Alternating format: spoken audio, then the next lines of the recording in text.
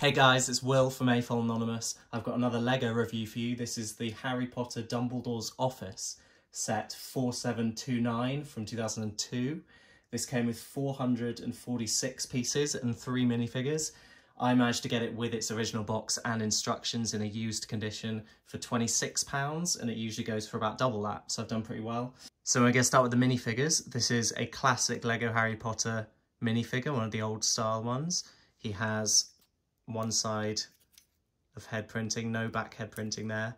Uh, he has one of those starry old style capes and he comes with a brown wand, but other than that, there's nothing really of interest there. Next up, we've got the headmaster, Albus Dumbledore, who does come in a few of the bigger sets. You can see here there's a couple of nicks just around. The condition isn't perfect on the minifigures, but they still look pretty good. He comes with these two hair pieces to make his long hair and beard combo. This one sits under his head and this one just goes on top. And then again, there's no back hair printing, back head printing, but you do get one of those nice purple capes. And then finally, Minerva McGonagall, who is exclusive to this set. You can only get her in this set. She comes in this vibrant green colour with a green wizard's hat there. You can see her face print. There is, again, there's another slight nick in there, but it kind of has this hair print around the top, which does look a bit weird when she's not wearing a hat. Um, this very detailed front printing, which goes both on the torso and down to the, the leg piece, which is one of those dress pieces, just on a, on a slanted brick there. So you just put that in where the legs would be. And then she's also got a green cape there on the back. So moving on to the build of the set, because it's actually so tall, I'm gonna take off the top half and do it in sections. So we'll look at the bottom half first. Now, luckily for us, the old Harry Potter sets are built very modularly. So this whole top bit carefully just comes off there and it's only connected by these four studs on the top so you can easily attach and reattach that. But for the bottom part of Dumbledore's office, this is the closed up exterior. You can see there's a lot of detailing on this front part. There's a dragon's head piece here, these two dragon's wings that are lying down, a couple of torches and a couple of fire plumes coming up there. And then you can see there's this printed brick exterior on here. But then if you remove this scorpion pin out there, and it's got two Technic axles attached to it. The front of this unlocks and opens up so that these bits come at right angles. Now this is the state that it is on the box and on the front of the instructions, which is a shame because the front, when it's closed up, I think offers the best kind of external detail that this set has, especially with this scorpion piece. I think it fits really nicely into the kind of front locking mechanism bit here. But opening it up, we've got these two side sections here. Firstly, on the left, there's a little safe here. So you can see the safe in a bit more detail. There's a printed image on the front with a handle, one of those little turny, I don't know what you'd call that, something to unlock it, for example, and then a spider in the top right corner. And then this actually rotates 360 degrees on two turntable pieces, one on the bottom and then one affixed to the top there. So this whole part just spins. Then you can open this safe here. And then there's a small printed letter piece. There are three of these in this set and they've got a seal on the middle where there's red seals just printed there and then also a uh, address presumably printed on the top and then that just fits back in there. It is a bit um, finicky to get out just because this whole thing revolves the entire time. Now moving on to the right hand side here, this part doesn't actually rotate even though it kind of looks like it might, but you can see there's a gold key here, one of the antique brass chrome keys. There's a couple of them in this set. And that is affixed to one of these three uh, little drawers, which you can just pull out. I'm going to pull the one on top here out. And you can see each one of these has a printed tile attached to it. So this one is a bag with a spider and some kind of gold printing on there. Again, that just slips back in to here. The one with the key on it pulls out there and it's got one of those letter prints that we saw earlier. pop that back in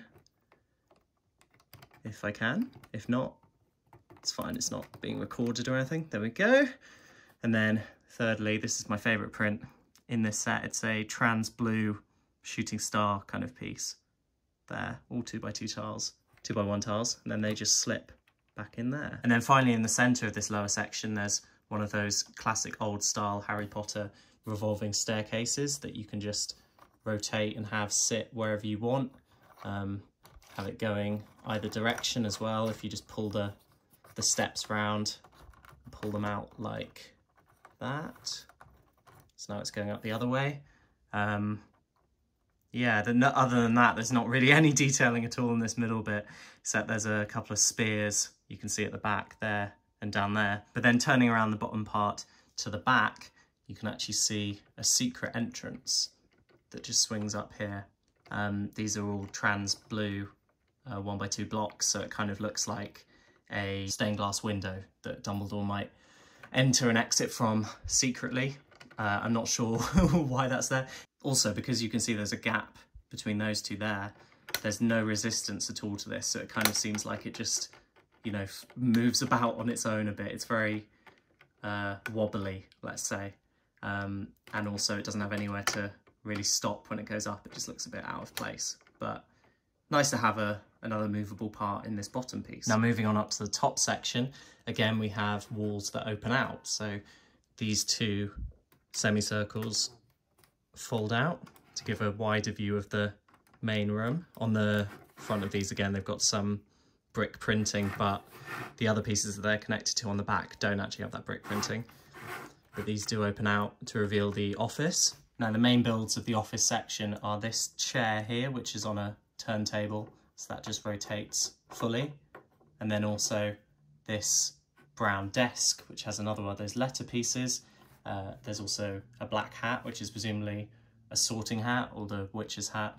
And then a one by one trans green block piece, which works as a kind of potion with a little stud on top of it. Now, when the wall is closed here, this chair doesn't actually have the space to rotate, which I think is a bit of a shame. So you do have to fully open this up to get any movement effect. And equally, it's made up of both black and grey pieces, so it does look a bit like there was a bit of a mistake there with the design, to be honest, because it blends in with the, the wall piece in a way that doesn't really help with trying to figure out where it is in terms of this menagerie of colour that you've got up here. But then this brown desk also hides a secret. You can fold that up and then there's a little tiny one by one tile in here, if I can just get that out printed of a magical book and it's slightly shiny there, one by one white tile that just pops in there. You can fold the table back down. Now behind the table and chair, there's a printed uh, 4x4 piece which also appears in Snape's classroom among other sets. Just got some potions on the back. Uh, but this piece actually rotates round to reveal the second of those two keys, uh, there's also these four one by one bricks, which act as, again, another kind of stained glass window effect here. And that can just rotate round and you can affix anything to that little clip there. And then finally moving up to the top of this upper section, you've got this wheel here with a printed uh, magical kind of spell aura kind of thing with there's moons and stars on it. And it's all going on here, slightly translucent there. And then also this, again, a weird combination of pieces. There's some uh, translucent pieces, there's some grey pieces, some black pieces, but there's a little uh, Technic axle poking through at the back. And if you turn it, the whole thing kind of rotates. And I'll just show you that from the side here. The axle just pokes through. And if you turn it there, you can see the parts start to move. Now, I'm not sure if I fully, again, fully like the design of this. It might be a hot take. I really like this circular piece. I think that looks great and it really fits in with the, the kind of magical parts that you see. But then this kind of blocky, uh, mechanical gear piece here that also turns, I do think it looks a bit out of place just because it doesn't really fit in with the either translucent or blocky. It's a bit of both. I just think it looks a bit strange. But it's nice to have two independent moving pieces there and that's all done by these actual pieces here. They're kind of gears connected into the teeth of the mechanism and it turns them all at once. And then this is the exterior of that part. You've got this really nice large roof piece in that classic Harry Potter green.